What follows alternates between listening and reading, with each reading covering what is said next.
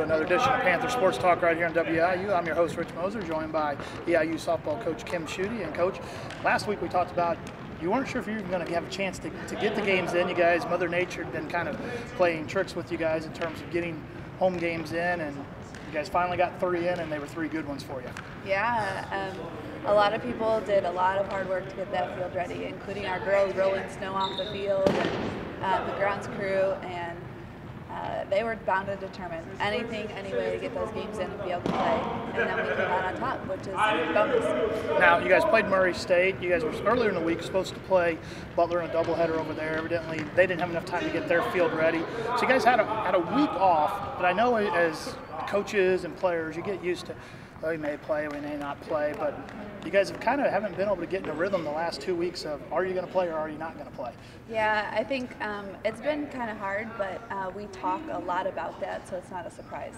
And we talk a lot about being tough and about what might happen and prepare to play. I think if you're always ready to play, you're good. But the minute that you think or you assume things are going to cancel, and then all of a sudden we play, we're in trouble. So we talk a lot about that and a lot about toughness. Um, and they came out ready to fire. They're excited to be at home at Glenn Williams Field. Okay, and you guys will play at Glenn Williams Field a couple more times. We'll talk about some of the upcoming games you have here a little bit later. But going back and talking about the Murray game, you guys picked up three wins. You swept them, continue to keep yourself in first place in, in the conference standings in this new divisional format. But not only were the wins big to keep you in first, anytime you can win a series against somebody in your own division, that's going to be big. Absolutely, and Murray the weekend before had beat Jack State and had beat Tech 4 0. Um, they were playing pretty well. And that first game, it was a pitcher's duel. It was one nothing battle. Um, two good pitchers going at it, and then we came out on top.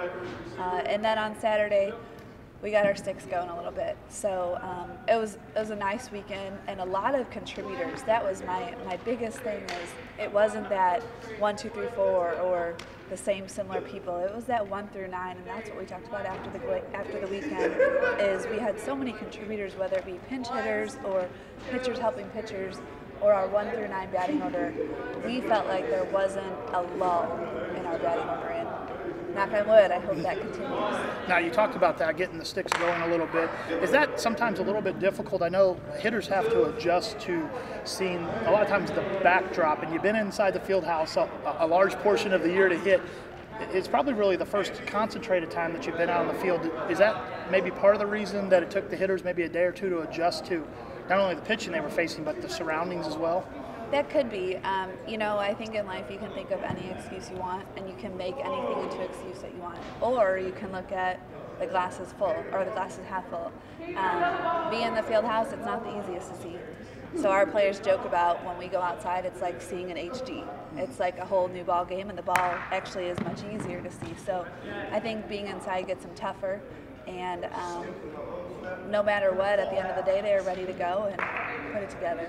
Now, fast forward to this week, you guys, because you, you've lost some games due to Mother Nature and some other things over the course of the season, you added a, added a series this week. You're going to play over at St. Louis early in the week, and then your game you already had scheduled against SIU on Thursday, and then you get back into league play playing, I think, Jacksonville State and Tennessee Tech. No, I'm sorry, Belmont, Tennessee State this weekend. Yes, yes. Um, we're excited to have well, I know the coaches are excited to have some midweek games. And as you mentioned before, we're trying to get in the rhythm of off practice play, play, off practice play, play, and something like that. So we're really looking forward to these midweek games to one, keep things going, but also get some other kids a chance, um, get some pitchers, some more innings, um, and see what we've got at St. Louis and then back home on Thursday. Hey, talk a little bit about pitching there. In baseball and softball, it's a little bit different in terms of the fact that in pitching, a lot of times for baseball, midweek games are put in there to get guys work that aren't going to pitch during weekend series that are trying to develop. Softball may be a little bit different in terms that your, your star pitcher really could pitch every game of the season. So, as a coach, when you play those midweek games, is it to fine tune some things for your star pitcher, or is it an opportunity for some other people to actually get in the circle? Sure, I think it's a little bit of both for us this week. Um, we want Madea to start, we want Robinson to start a game, and then we want to keep Meniga going. Um, Meniga, I, I look to her to be in relief both games against SLU and then start the Carbondale game. That's the plan as of today. Um, who knows what will happen. But yeah, you want to keep what's rolling rolling. But absolutely, we want Madea and Robinson to get some more bulk of those innings. Now, the other thing that you guys you get, you'll go back into this format and, and kind of looking at the schedule. I, I could be wrong, but I think this is kind of how it plays out. It seems like you're playing your four games against the other opponent one or the other division one weekend, then you come back and play a three-game series against your division, and then back against the other division. That's going to be the case this weekend when you play Tennessee State and Belmont. Are, are there different I know a lot of times when you when you talk other like maybe professional sports, they say divisions play different styles. I don't know that that's really the case so much in in softball, but you're going to see two teams, one in Belmont that you really are not familiar with at all. Right, right. Um, Tennessee State and Belmont both kind of have an aggressive style that kind of have free swingers at the plate. Um, and you honestly never know what you're going to get. Um, and that's challenging to play against a team like that. Belmont just beat Jack State, and Jack State's always a good team. Um, and Tennessee State has been really competing with high-scoring games. So our goal is to always win the first game, win the first game, get things going, um, and then kind of see what our competition has. We've talked a lot about in the past what's happened with competition, but you're right. Belmont, we we tried to play last year, we got rained out. We don't have a whole lot about them except we saw them at a tournament earlier this year. With Tennessee State, we have oodles of scouting reports, so hopefully those scouting reports will help us. Now, you talk about those two teams, and they're going to get in the format, and I know you kind of want to keep it rolling there a little bit. This weekend, Southern Illinois on Thursday at 4 o'clock start out here at Williams Field, and then the double headers at noon on Saturday since you have so many games, do you tinker with the lineup a little bit, or, or have you seen some things that, that you kind of want to tinker with going into the weekend? Um, I think midweek we'll probably mess things a little bit, um, see what we've got, see if some maybe surprises happen, and hopefully get a couple kids going a little bit more. As far as this weekend, I have no idea. You know as much as I do. I know what's been working, um, but I'm always looking for surprises and some good performances at practice as well as good performances in midweek games to get some other kids, you know, help them earn their shot. All right, Coach. Well, best of luck in all those games. Hopefully, people. The weather looks like it's going to be nice for the weekend. Hopefully, people will come out and see us at Williams Field. Four o'clock on Thursday against Southern, and then a pair of doubleheaders this weekend. Noon against Belmont on Saturday yes. and Tennessee State on Sunday. You're going to get them mixed up as I go through the year here. I'm going to flip the weekends, but you're going to play all four or play four games over the weekend, two against each of those teams on those two days. Coach, best of luck, and we will talk to you next week. Thank you. All right, we'll be right back with This Week in EIU Athletics. Panther fans, here's what's going on in Panther Athletics. Baseball is now 0 8 in the OVC as they fell in a three game series at Jacksonville State 3 2, 5 2, and 2 1. Softball is now 9 and 1 in the OVC as they swept a three-game series at Williams Field over Murray State, 1 to nothing, 7 to 4, and 4 to 1. Outdoor track with 2 days of competition at the SIU Spring Classic in Carbondale, Illinois. And EIU posted six first place finishes. Men's tennis with 3 matches last week. They lost 4 to nothing at Belmont. They won 4 to 1 over Tennessee State in a non-league matchup, and then in the OVC match against Tennessee State, EIU won 6 to nothing. EIU is now 2 and 2 in the OVC. Women's tennis won both their matches last week, 4 to nothing at Belmont and 6 to nothing at Tennessee State. They're now 4 and 1 in the OVC and 9 and 3 overall. Now here's what to watch for this week. On Wednesday, prior to the airing of this show, several Panther athletic teams in action. Men's and women's tennis at SIU Edwardsville at 2 o'clock.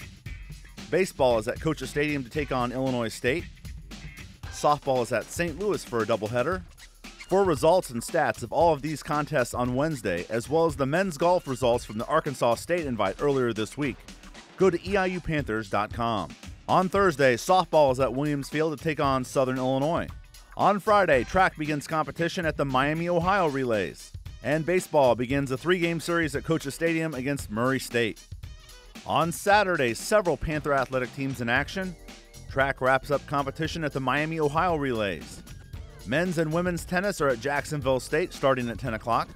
Softball with a doubleheader at Williams Field against Belmont. And baseball with their second game of their three game series against Murray State at Coaches Stadium.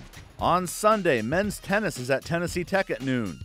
Softball with a doubleheader at Williams Field against Tennessee State.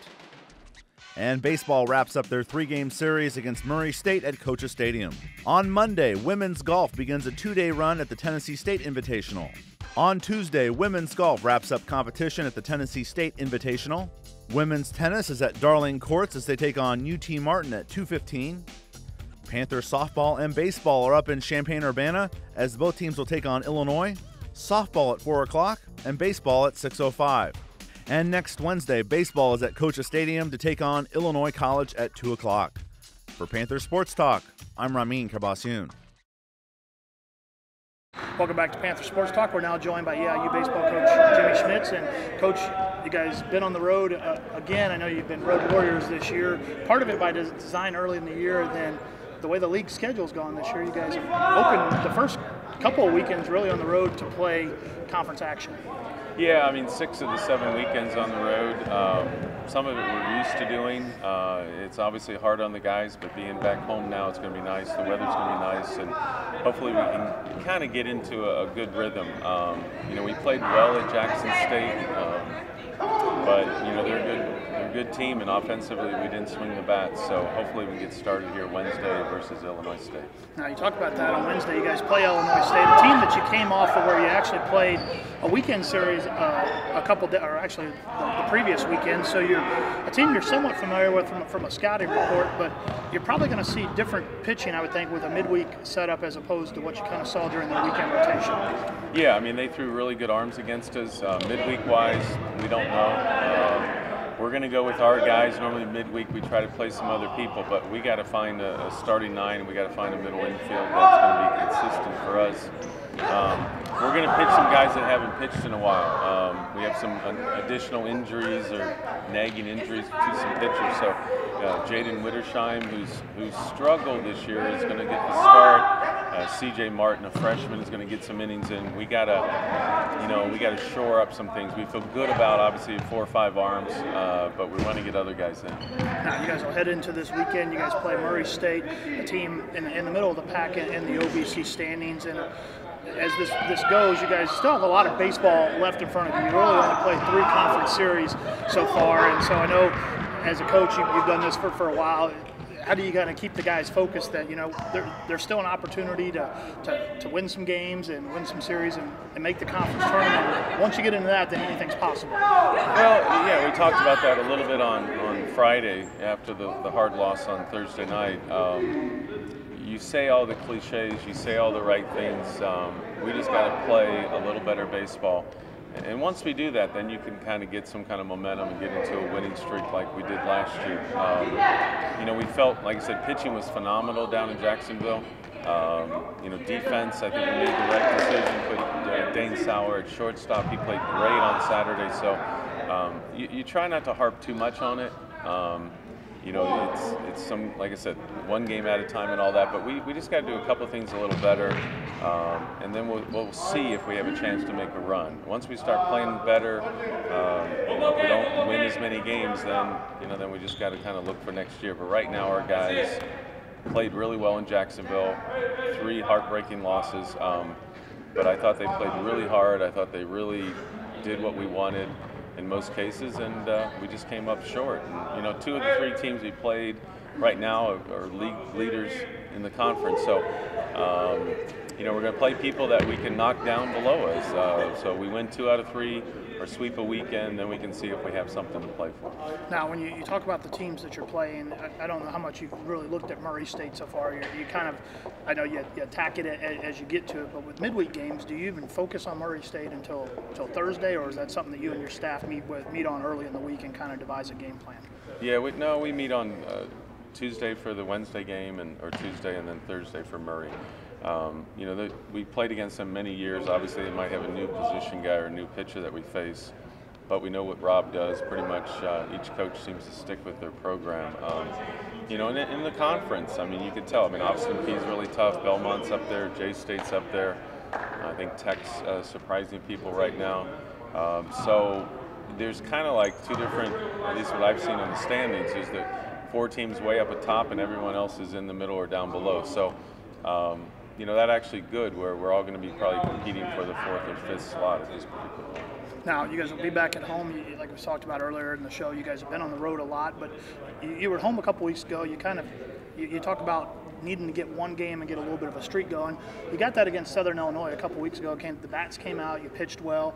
That led into winning two out of three then at Illinois State maybe some of that same type of magic could start this weekend with Illinois State. I guess those those things seem to go in cycles. When one guy's hitting, everybody's hitting. When one guy's pitching, everybody seems to be pitching. Yeah, and it really did. I mean, the southern wind was big, and when we come back home, and then we get 10 inches of snow, and um, you know those are the breaks that have not gone well. But um, yeah, being back home, looking at the weather for the next couple weeks, looks like it's going to give us a chance to be home. Uh, we've not practiced one day on our field, and so it everything's about confidence. And right now, the guys are kind of in the mid-level. You know, it's not really it's not really down, but it's not really up. Um, but I really thought how we played Saturday, uh, defensively, pitching wise, uh, things are coming together. We just have to get a couple more pieces going. Okay, now one, it'll be three o'clock game on Wednesday against Illinois State, and you come back on Friday against Murray State at three, Saturday at one, Sunday at one. I guess for like we said, we haven't been at home a lot this year. Maybe some guys for when people are coming out to watch the games to kind of, hey, look at that guy. He, I guess maybe even some of the young guys that are going to be around, names are going to hear the next couple years. Well, I, you know, Caleb Howe, uh, left fielder, sophomore. Brant Valach, a sophomore. He's a uh, you know freshman All-American last year. Two of the young guys that have really been playing. Uh, you know, the new hitter for us is Trey Vavra, the first baseman. Uh, from Wisconsin, who's really up there in a lot of the offensive categories. Uh, and then, you know, Matt Borens, who pitched well on Saturday, sophomore, six foot seven right-hander, who scouts are starting to get really excited about. So we do got some young guys. Um, we'll probably start playing a little freshman here. You'll get some other names down the road, but uh, uh, it's a little young team. But I think some new guys are going to do well. All right, Coach. Well, best of luck out there. We will talk to you next week. A reminder: three o'clock on Wednesday against Illinois State, and then the series against Murray State out at Coach's Stadium. Three o'clock Friday, one o'clock Saturday and Sunday. Be right back on Panther Sports Talk. And we'll wrap up another edition of Panther Sports Talk right here in WEIU with some of the highlights of the women's basketball season, which ended this past week with a second round WNIT loss at Illinois. Thanks for watching this edition of Panther Sports Talk, everybody.